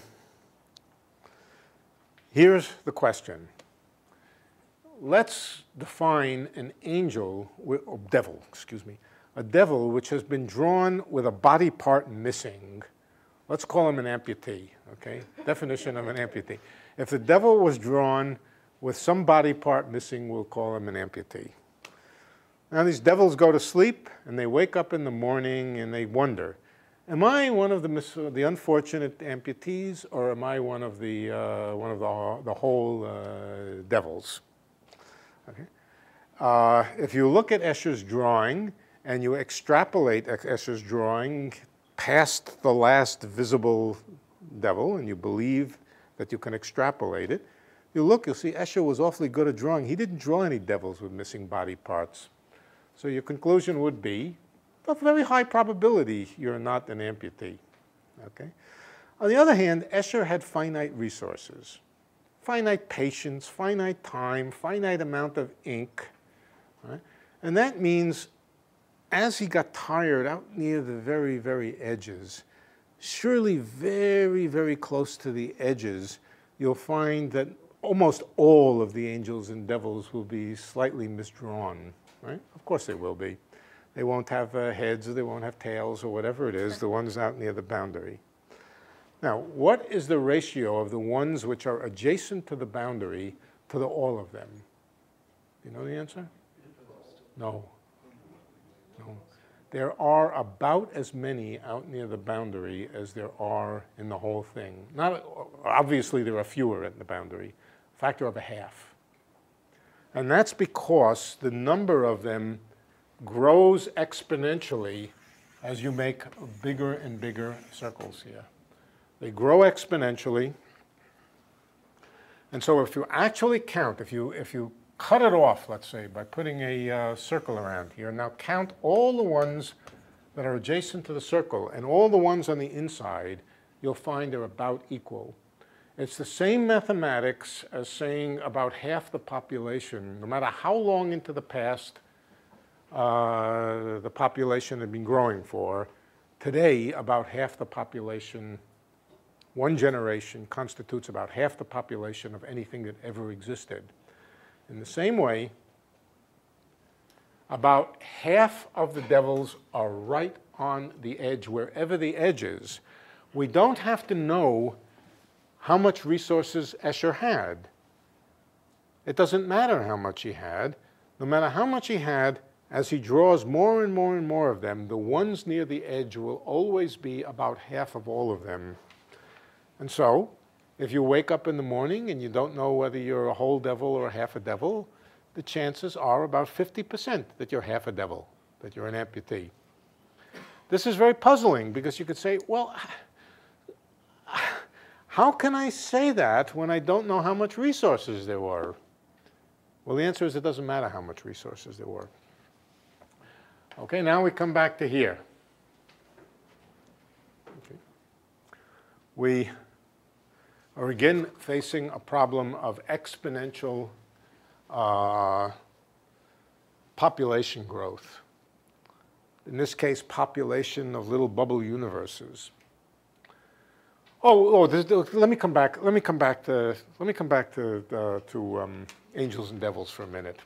Come back to angels and devils for a minute before we go on to universes. Escher did have angels and devils. Let's ask a different question. The different question being, when you wake up in the morning, are you an angel or a devil? 50% probability, right? There are as many angels as devils. And uh, the mathematics of Escher's drawing, if it went on for infinity, in some sense that would be true. But we know that Escher had finite resources, which means we have to draw an edge to this. The answer for the ratio of devils to, uh, to angels is extremely sensitive to the way we draw that line. It's extremely sensitive to the way we, we could draw the line. For example, every time we come to an angel, let's go around it that way. Every time we come to a devil, we go around it that way. And now we push this edge out further and further. By a factor of about three quarters, we will have more devils than angels. It's all in the edge here. It's all in the edge. And so the assignment of probabilities to angelness or devilness is just extremely sensitive to what Escher did just as he was running out of resources. It's ridiculous because uh, you, know, you, you, you simply don't know anything about his resources. You would think that the answer was 50-50. But if at the end he had a little bit less pink paint than, than white paint, the answer would be many, many more white than pink. Okay. Same exact thing here. You want to know the relative probability of different kinds of bubble universes forming, blue ones, pink ones, and so forth. The population is exponentially growing. How do you decide? You try to decide the same way. You say, let's chop this off at some time and count the number of blue ones versus pink ones. But the problem is the answer is super hypersensitive to the exact way that you draw this line. And that has led to a problem that cosmologists, physicists like myself call the measure problem. Measure as in probability measure. How do you assign probabilities in a world of exponentially increasing populations? And the answer always is it is extremely sensitive to the way that you cut things off, to the way you, uh, and your imagination in the universe. Uh, this is a very, very big problem for cosmologists because they want to be able to use their theories in a predictive way and make predictive, um, predictive predictions. What other kind of prediction is there?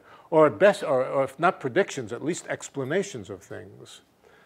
And so in this kind of world, if it's really true that there's an exponentially increasing um, population, we run into new kinds of questions about probability theory and about how the use of statistics, which really just um, have uh, baffled, really baffled us. My guess is, of course, that we're asking the wrong questions. We're probably asking the wrong questions. Um, but that doesn't help to say that we're probably asking the wrong questions. It doesn't help unless you can say what the right questions are. And yeah. Is there any connection to the renormalization or to the odd and even strings? To which? Odd and even, but I remember it as odd and even strings, but the, uh, those, the, uh, uh, uh, fermionic strings, where, uh, the, uh, number of, as I recall it, sorry, the number of quantum mechanical oscillators varies, uh, the, the, uh, spin of the string. Well, there are, there are relations with renormalization theory.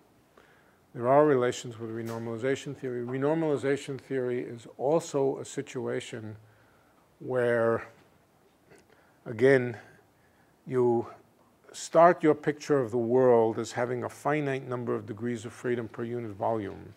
And then you double the number of degrees of freedom in each volume. And then you double it again and you double it again. You don't double it really. You double it in your imagination and ask how things converge what we're talking about, of course, is you, you start picturing the world as a lattice. You can't handle a continuous infinity of degrees of freedom.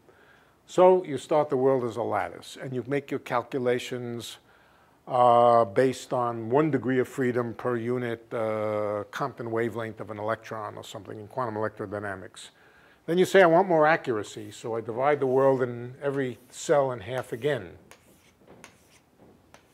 And I recalculate. And in each case, I ask the same kind of questions. What's some relative population of uh, regions of space with this property or that property? And again, not with respect to real honest time, but with respect to your mathematical sequence of descriptions the population is exponentially increasing.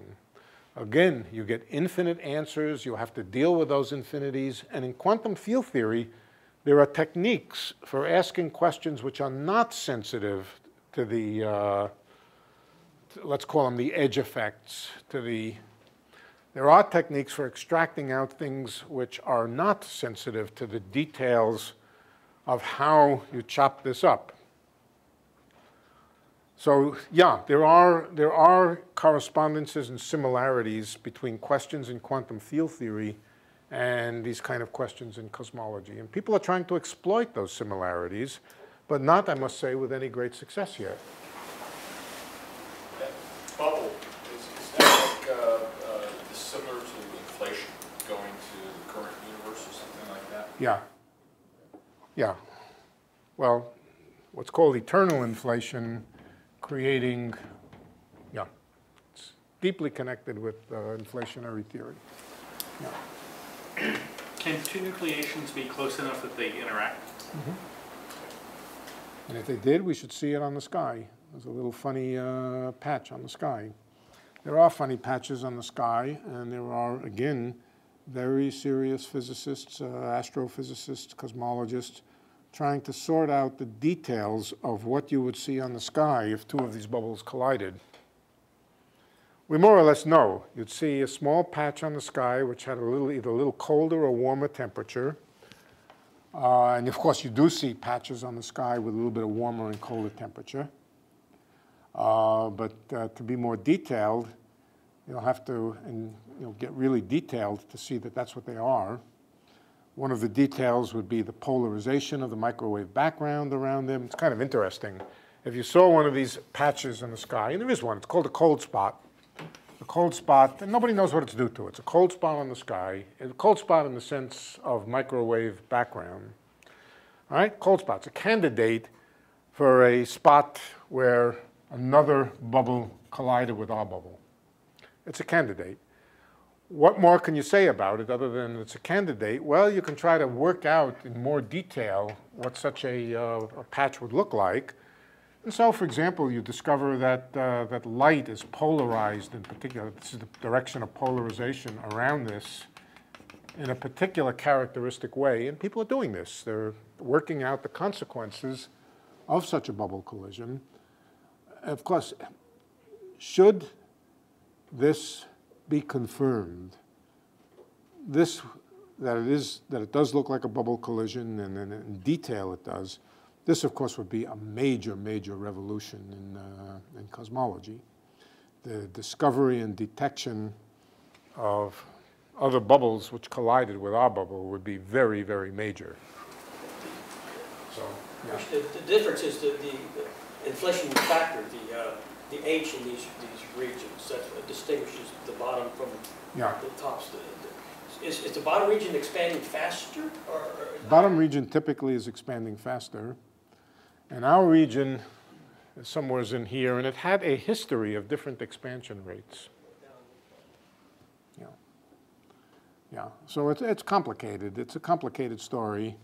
But it does include this idea of exponential uh, uh, population growth. So one could foresee a situation in which we truly confirmed that there were bubble collisions with our world. We would have confirmed something like this picture, at least a piece of it. Then it becomes a really serious matter to try to get predictive and to ask what the relative probabilities of different kinds of bubbles are. And that's where we run into this trouble of um, exponential population. Uh, the answers would be very dependent on the question of whether there were finite resources or not. What is a finite resources? I don't know what finite resources, just this it comes to an end somehow. And the details of the way that it came to an end would be, uh, would uh, determine what relative probabilities were. Bubbles collide, you just add the, uh, uh, the uh, uh, dark energies of the two types? and- No, it's more complicated than that. The place where they collide, depending on details, uh, there's something called a domain wall, which separates them. And the domain wall on one side has one behavior, the domain wall on the other side has another behavior. But the point is, the domain wall would be visible to us, or could be visible to us. It, uh, we would need a bit of luck. Here we are. Here's our observer. If the domain, if the um, bubble collides over here, some sort of bubble collision over here, this observer doesn't get to see it. But if it collides over here, then he does get to see it. So there's different scenarios, different situations. But it does, it doesn't seem totally out of the question with the numbers that we know that there could be bubble collisions, that there could be visible bubble collisions. And if so, they have a particular signature, a particular behavior, they're fairly characteristic. And um, if, the if the cold spot is such a bubble collision, we will know. We will know in time. What do I bet? Well, I'm, you know, I, I don't know what to bet, honestly. Do the bubbles have four dimensions? Yeah, well, they could, yes. What about the curvature of expansion? What about the curvature of expansion, like whether it's convex or concave or flat? Oh, That may, that you see differently? Um, these bubbles are usually negatively curved Friedmann, Robertson, Walker universes. They have negative spatial curvature. The bubble collision would certainly modify the, uh, the curvature in some characteristic way, but it wouldn't turn the world from a world with a uh, negative curvature to a positive curvature. That, that it couldn't do, but um, uh, yeah. Uh, Kind of a related question, but is it possible to assign a probability uh, to the statement that string theory is correct or incorrect, given that we have almost no empirical evidence one way or another? I don't think so. I don't think so. Fifty-fifty would probably.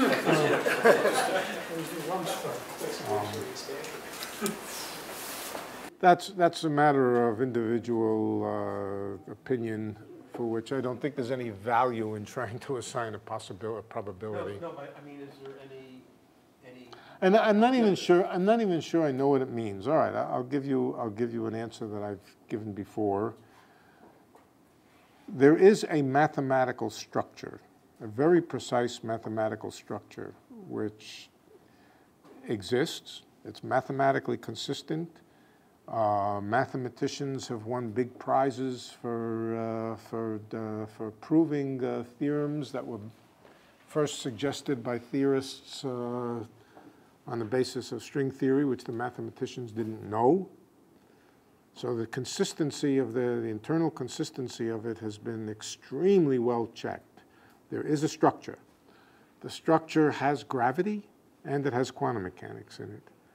Right? So in that sense, string theory is a well-defined, exact, now, of course, there's a very remote possibility that somebody will discover an inconsistency in it, but it seems extremely unlikely, a mathematical inconsistency. Um, on the other hand, that part of it, which is mathematically precise, let's call it string theory with a capital S, with a capital letters, string theory, capitalized. It is supersymmetric. It is, um,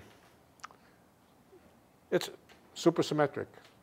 The world is not supersymmetric. The world, as we see it, is not supersymmetric.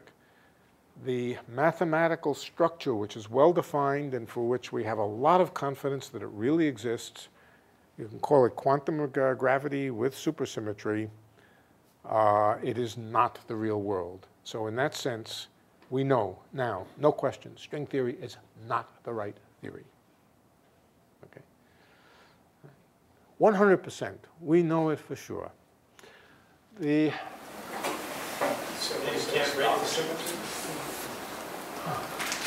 breaking the symmetry, nobody really knows how to do. Okay? It is not part of the mathematically precise part of the theory. We all expect that this thing that we call capital string theory, there it is, string theory, it has many, many, many different versions. A huge number of different possibilities lie within this.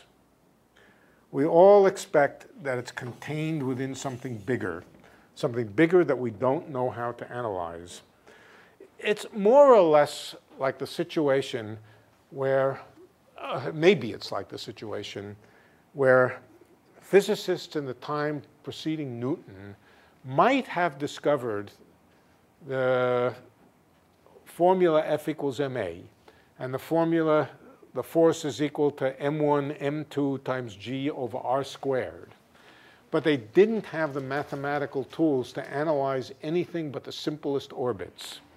So they said, all right, we will use symmetry, the symmetry of circular orbits. We need one little bit of extra information. We need to know the acceleration of a circular orbit. That's not too hard. You can do it on the basis of some simple symmetries. And you can therefore figure out um, uh, Kepler's, which one of the laws is it? That uh,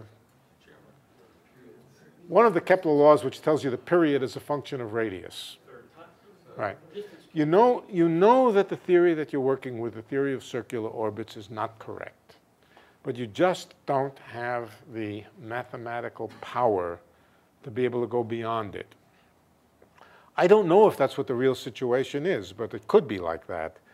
So we know that the theory of circular orbits is contained in something bigger, don't know how to analyze it.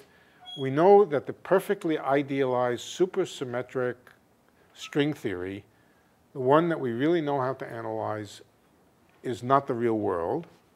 It looks a little bit like the real world, but it's not the real world. And the question is whether it's contained in something bigger, which we could call string theory with a small s.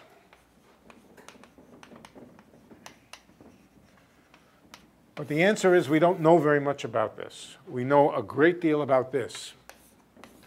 This has been enough to tell us all sorts of things about the combination of gravity and quantum mechanics, things about black holes, things about um, all kinds of things. But to say one way or another, what's the probability that string theory contains a, or that there is a, an extension of it, a bigger version of it that contains our world right over here? I don't know. Um, of course, in some sense, well, of, co of course that's true. Our world is someplace. Here's the theory of someplace. If you add this to this, you get something bigger.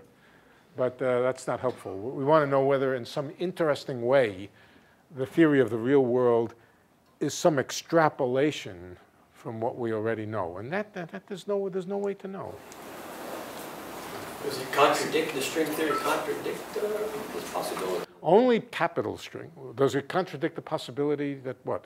Uh, Does the capital string theory rule out the, the The capital string theory doesn't rule out the presence of, that doesn't rule out the existence of small string theory. But what it does say is that nature is not, as we know it, is not described by capital string theory.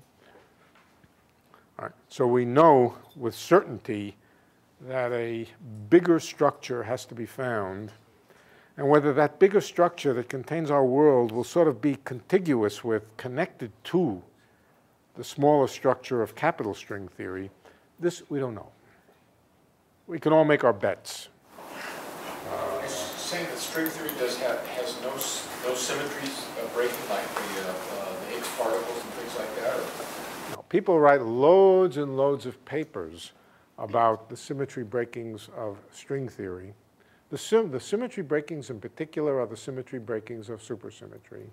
And we know a lot about the mathematics of supersymmetry, but we don't know a precise version of how to combine the breaking of supersymmetry with string theory.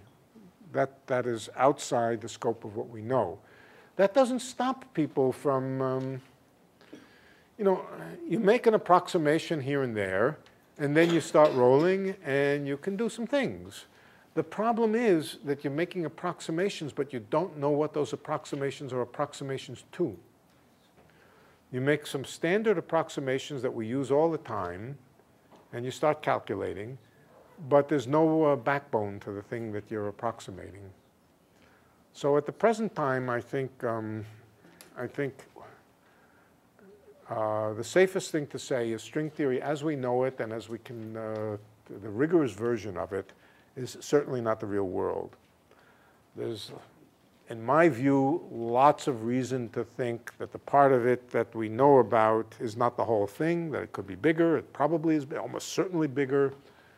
But how to say whether the real world is part of it, uh, that's very much a prejudice that different uh, physicists uh, share in different proportions.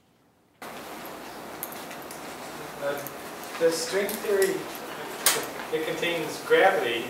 Does it contain special relativity, or is special relativity a postulate for string theory? No, it really, it really does require special relativity. Now, special relativity can be violated by the environment. We're sitting here in a room where everybody's at rest, right? And the world does not look uh, Lorentz invariant to me. Your presence here violates my sense of Lorentz invariance. It also violates, we talked about this last time, didn't we? Yeah. Uh, so you can have what physicists call a background, which means stuff in it, which, uh, which uh, picks out a particular frame of reference. But the underlying rules, the underlying rules for, uh, for string theory do have Lorentz invariance. It's a prediction. It's not a postulate.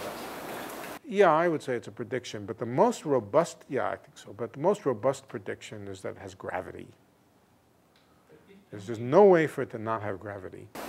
It has gravity, but is it consistent with Einstein's theory of general relativity? Yeah. It is. I mean, the background independence, the covariance, the general covariance is in the string theory also. Yeah, this question about background independence is a confusing one that, uh, uh, that um, uh, yeah, it is, it is background independent up to a point, up to a point, yes. Um, It's hard to change the asymptotic boundary conditions continuously, but it should be hard to change the asymptotic boundary conditions continuously. How do you change asymptotic uh, boundary conditions continuously? You can't do any operation that would change them. Uh, But uh, short of asymptotic boundary conditions, changing the background locally in space-time, yeah, string theory does have that. uh, um, And uh, you don't have to take my word for it. There are, there, this, uh, this is something that's been long studied since the 1980s. Um, Works of people like Curtis Callan and uh, other people have, have studied that. Um, So, no, uh, we're gonna, we're finished tonight. Yeah. Yeah. Okay, so